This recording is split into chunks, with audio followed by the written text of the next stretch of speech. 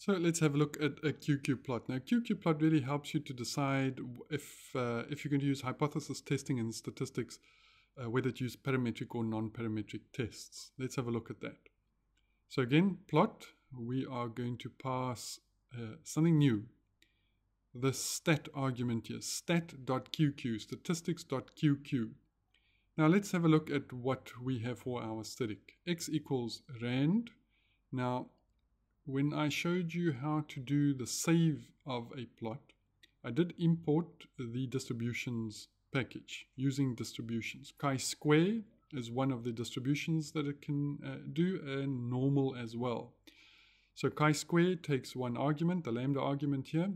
So it says take random values from the chi-square distribution with a lambda value of 1 and please take 100 random data points from this distribution randomly and attach it to the x aesthetic.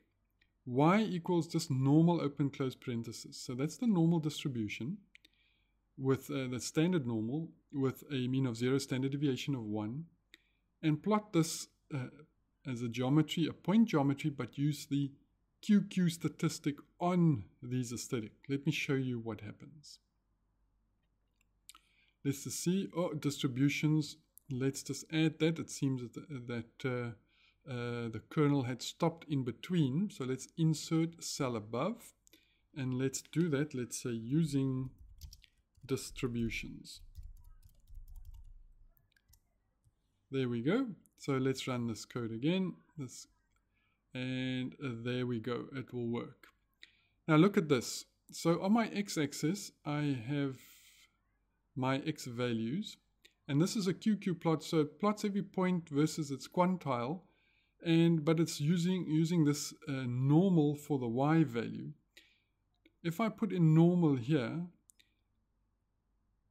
these points should be on a straight line if these data point values were from a normal distribution. Clearly they do not follow a straight line, so clearly these values are not from a normal distribution, and indeed they weren't. I cheated, I put them as a chi-square distribution with a lambda of 1. So this plot tells me if I wanted to use these x values in hypothesis tests, I should use a non-parametric test. Now let's use that on some of our own data. So what are we going to do? So we're going to plot our x is our variable 1, but I've got to sort it. So I can say data frame, the variable 1 column, take all those values, sort them, and that's my x aesthetic. For my y aesthetic, I've got to pass the normal function because I just want to see whether this is, whether variable 1 does follow a normal distribution.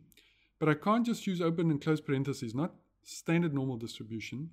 I've got to give it a normal distribution based on the mean and standard deviation of all the values in variable 1. So I've got to say mean data frame variable 1, comma, standard deviation data frame variable 1. So it's going to construct the mean and, and standard deviation from the values in variable 1 and it's going to construct from that a normal distribution.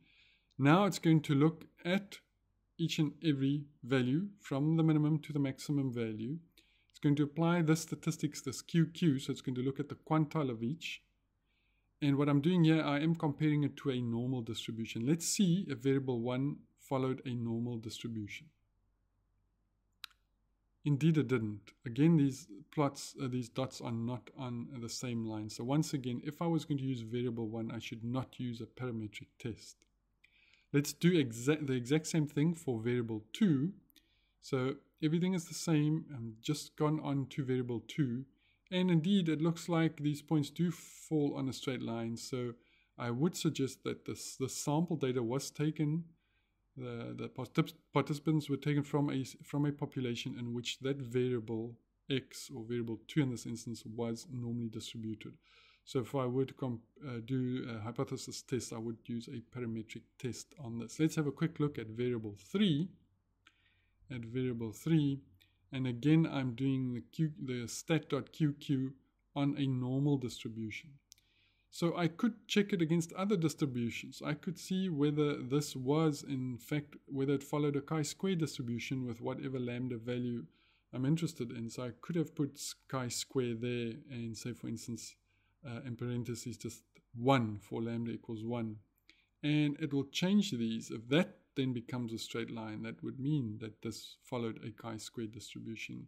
And indeed, with this kind of distribution uh, based on a QQ statistic for a normal distribution, based on the mean and standard deviation uh, of the values in variable C, this does look to me like it was constructed as a, as a chi-square uh, distribution. Good. In the next section, we're going to revisit scatter plots and I'll show you how much more you can do with the point geometry.